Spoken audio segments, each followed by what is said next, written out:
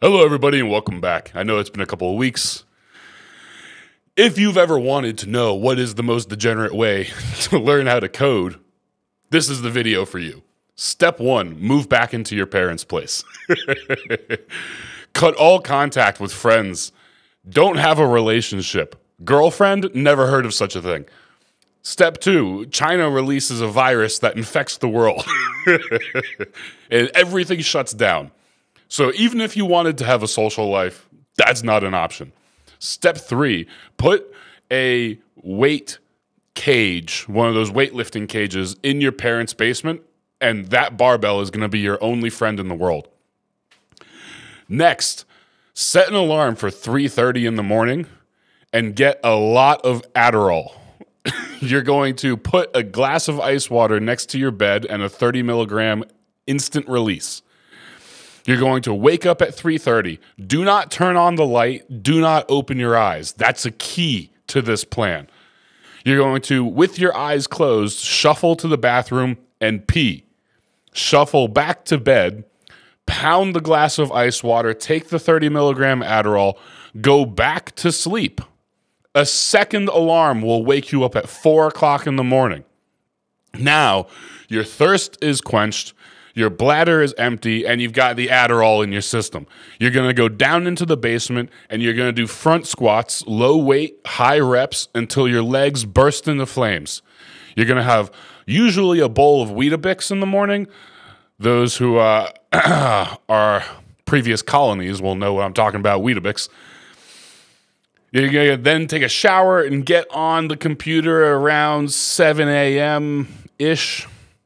And then you're going to sit at that computer until about 10 p.m., slamming your head into a brick wall of software development. And you're going to do that six days a week until you get a job.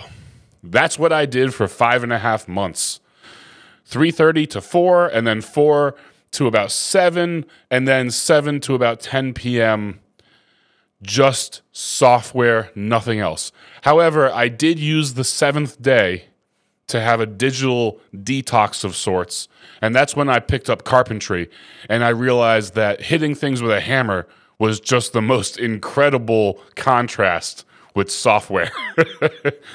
because obviously anybody out there who does who does uh, development you know that you can't address issues directly but something that software offers you is an incredible level of fidelity you can get literally pixel perfect with your intention and there's i don't think there's any other art form i can think of that allows you that level of perfection now, when I say perfection, I mean relative to the idea in my head. When you're working with software, it can be pixel perfect, but all other forms of artwork or all other other creative endeavors, what you re, what you produce, what the result is, will always be different than you than the idea you had in your mind. Maybe if you're a master, all that means is that the average person, the layman, can't see any of your mistakes. I'm not a master carpenter. Any jackass, any any swinging dick can walk in here and look at a table that I built, and they can see how the table is not ideal. They can see edges not perfectly lining up. They can see surfaces not being perfectly flat. They can see where it's rough if you're a master carpenter, maybe only you recognize your mistakes, but make no mistake, master carpenters, even though their work looks perfect, if you ask the carpenter, they'll tell you that there's a hundred problems. All they can see are problems, inaccuracies, ways in which their artwork differs from what it is in their mind.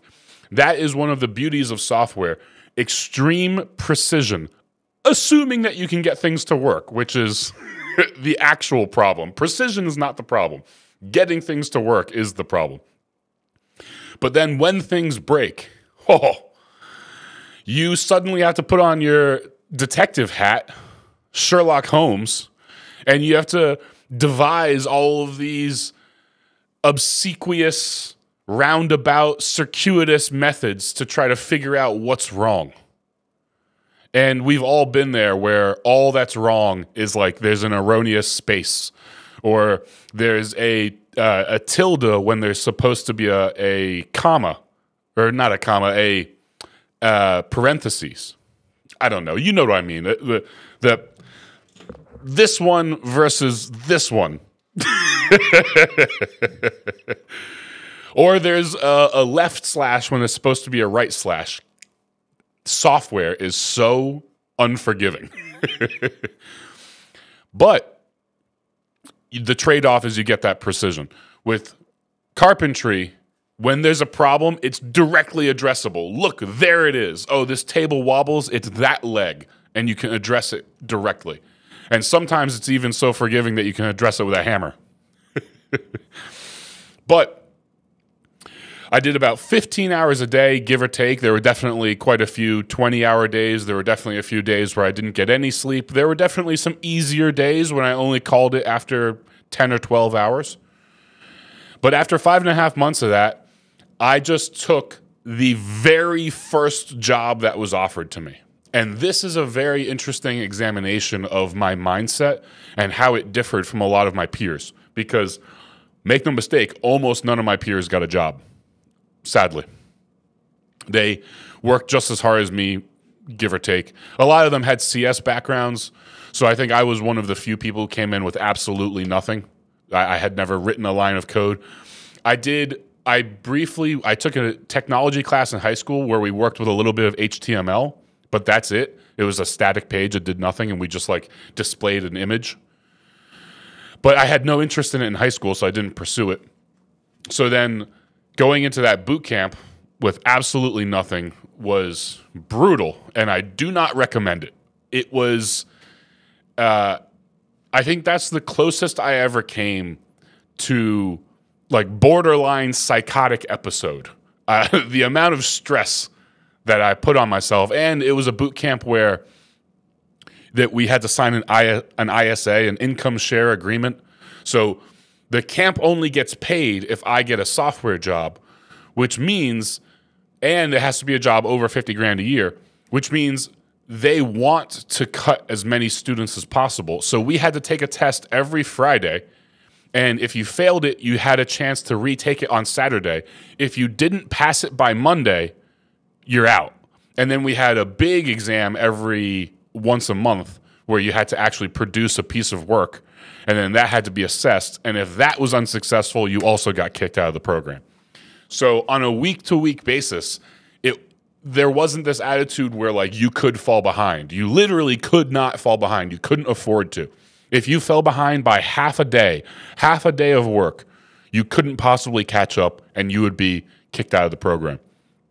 So that was, I would say, probably the most degenerate way to learn software. But I knew that the world was coming to an end in like November of 2019, end of November, beginning of December. So at that point, I canceled my plans because I was planning on going back overseas either Poland or Thailand, whoever offered me the better deal and whichever seemed like a better lifestyle. I canceled my plans and I decided, look, if I'm ever going to learn software, now's the time. And I got told this when I was a kid and I never forgot it. And my dad told me this, I'm pretty sure, if my memory serves. He doesn't remember, which is ironic, of course, like your parents don't remember. The, the lessons that they teach you that you remember, they don't remember teaching you. but at one point, he told me, there's no reason to bet on the end of the world because if you're right, there'll be no one around to pay you. so you you'll never be able to cash in the proceeds of that bet. So in December 2019, when I was like, okay, it looks like the world's ending, I'm going to assume that the world doesn't end. Because you sort of have nothing to lose.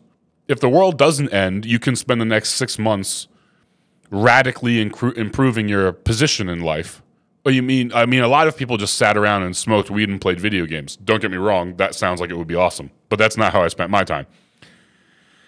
If the world does end, you're going to be killing your neighbor for a slice of bread anyway, so it's irrelevant. All of this other stuff is irrelevant, uh, you know. So unless you're going to spend those six months preparing, like you know, getting really fit and practicing your with your weapons or whatever you're going to do, preparing for the apocalypse, getting just preparing, practicing swinging the axe So I was just assuming that okay, the world's not going to end. I probably should upskill because at this point, food service and teaching were my only skills. And let's be real, these skills are not valuable. They are valuable skills, but they are not valued by the market. Teachers are really important. They get treated like shit and paid like shit. Food service is really important, treated like shit, paid like shit. So I realize those are not an option. I have to I have to do something else. Now, I wouldn't advise that 3:30 a.m. Adderall, and then I would take another dose of Adderall around noon. I wouldn't. So I would take about 60 milligrams a day. On on the extreme days, I take like 90 milligrams, which is getting to my. Those are getting to like college level numbers. 90 milligrams of Adderall is fucking aggressive. But I wouldn't advise that to people. However, software is not something to consider part time unless you don't need a job. If you're like, if you've got a great job and you like what you do and you make a lot of money and you want to learn software for your personal reasons, you want to make a website or an app, fantastic. That's the only circumstance where software as a hobby is acceptable. If you want to get a job, I think you're only benefited. The the only return on investment that's should be considered is if you go 100%. You don't, you don't have to go as degenerate as I did, but I told myself once the world was ending, or apparently so, I told myself if the world doesn't end, I'm moving back into my parents' apartment, back into my parents' house, and I don't have the skills necessary to succeed at an economic level that I'm happy with, at a, at a level that would afford me a house and a family and these things that I may or may not want, but I at least want the option.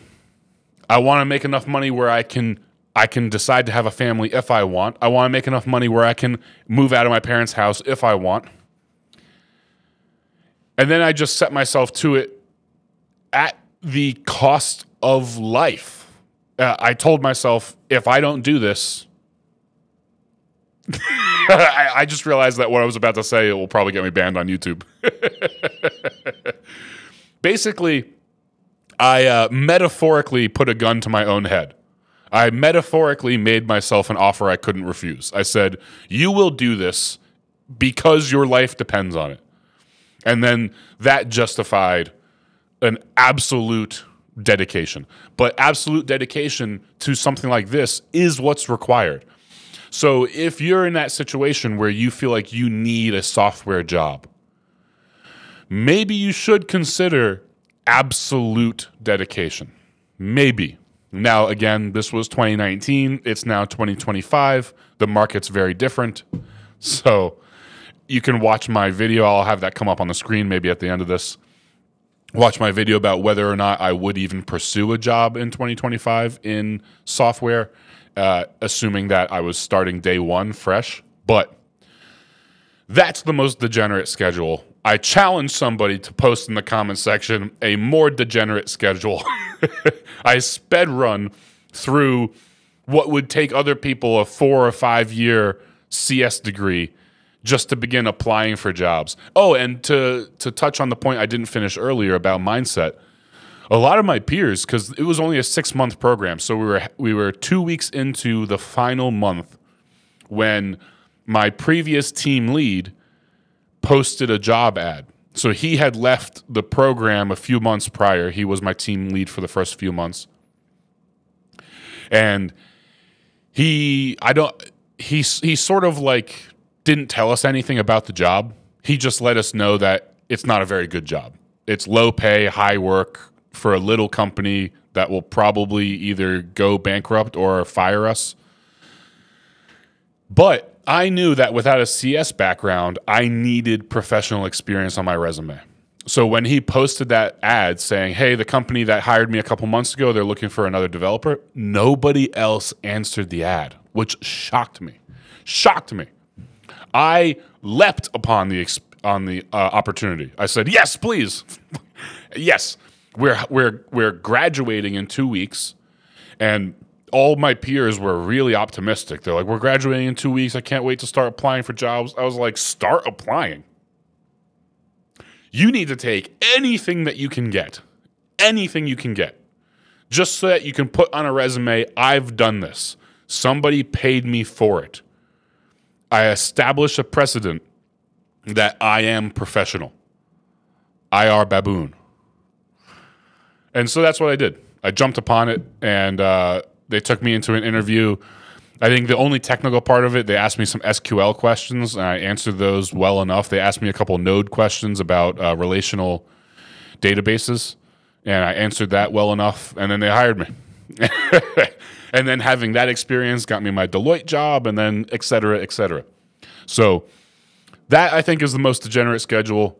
Let me know in the comments section if you had a more degenerate schedule, or just let me know what yours was like. I know that a lot of people in CS programs work their asses off, but I think it's probably a different flavor of degeneracy because you're not necessarily under the gun.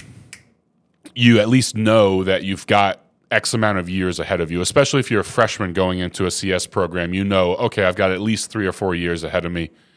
So, at, you're at least you're revving the engine with that anticipation of the length of the race, if that analogy works. Whereas in my world, there was no concept of where the race ends. It was just I need to get to the finish line as fast as possible. And if I need to work 15 or 20 hours a day to get there, so be it.